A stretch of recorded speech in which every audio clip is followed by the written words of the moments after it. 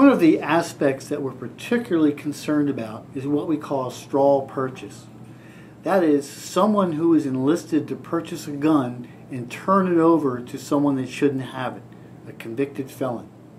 These are often done inside the dealership with both the criminal and the person who was convinced to purchase the gun in plain sight and many times an obvious fake false transaction. Unfortunately, in Reading, the gun that was used to kill one of our police officers was obtained in such a manner and turned over to a criminal who eventually used it to murder a police officer. That's why personally, trying to eliminate straw purchases by legislation and enforcement is so important to me.